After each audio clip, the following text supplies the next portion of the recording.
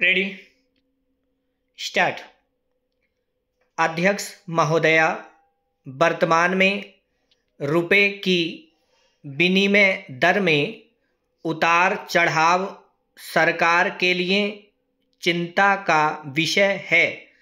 मई के अंतिम सप्ताह से डॉलर के मुकाबले इसमें भारी गिरावट आई है। यह चिंता का विषय है और यह चिंता वाजिब है कि इसका हमारी अर्थव्यवस्था पर असर पड़ेगा।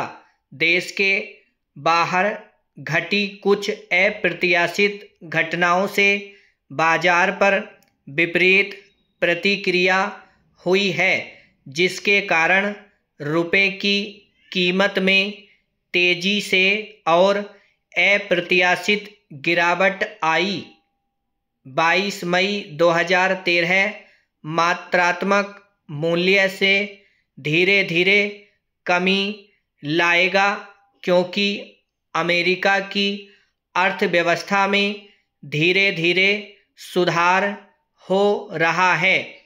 इससे उभरती हुई अर्थव्यवस्थाओं में पूंजी के प्रवाह पर विपरीत प्रभाव पड़ा, जिसके फलस्वरूप न केवल रुपए में, बल्कि ब्राज़ील की रियाल, तुर्की की लीरा, इंडोनेशिया के रुपया, दक्षिण अफ्रीका के रेंड और अन्य मुद्राओं में भी तेज़ी से गिरावट आ रही है, जहाँ वैश्विक कारणों जैसे कि सीरिया में तनाव और यूएस फेडरल रिज़र्व द्वारा मात्रात्मक मूल्य में धीरे धीरे कमी लाने की नीति अपनाए जाने से उभरती बाज़ार मुद्राओं में सामान्य गिरावट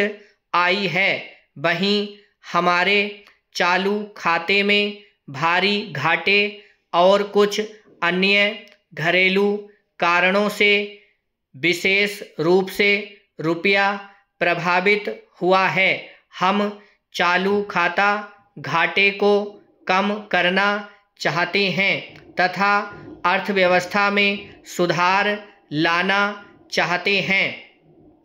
वर्ष 2010-11 और इससे पूर्व के वर्षों में हमारा चालू खाता घाटा काफ़ी सामान्य था और 2008-9 के संकट वाले वर्ष में भी इसका वित्तीय पोषण करना मुश्किल नहीं था।